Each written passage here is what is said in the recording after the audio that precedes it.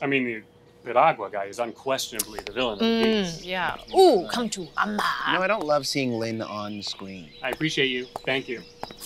What are these seats? Yeah, pretty much seeds. Hey, wasn't Brian supposed to be here? Oh, yeah. Hello, birds. Oh! Hey, man, you're covered in oil. Thank you. Looks good, right? Looks incredibly good. Thank you. I feel young. You look like one of Michael Vick's dogs. Papa is dripping in clout.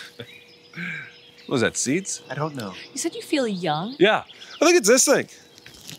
Well, the guys on Trash Island are doing it. Don't go there. Or go there more. They're choking to death. I don't choke. I seize opportunity. Now, you might be confusing opportunity for extreme danger. Go on. Can you fly?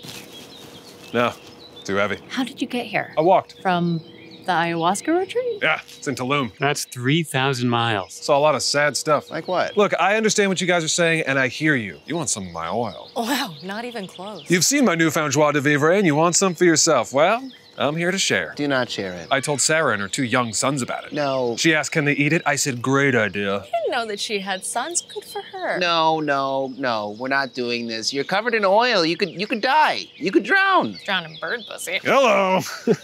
Why? I want his bread. His what? Look, I appreciate what you guys are saying, but the world runs on this stuff. Always has, always will.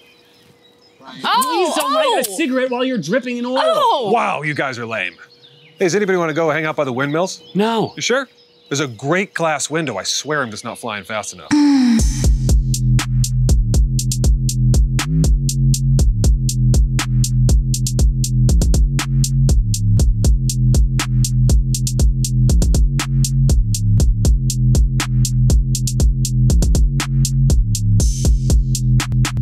That's a real rock and a milkshake.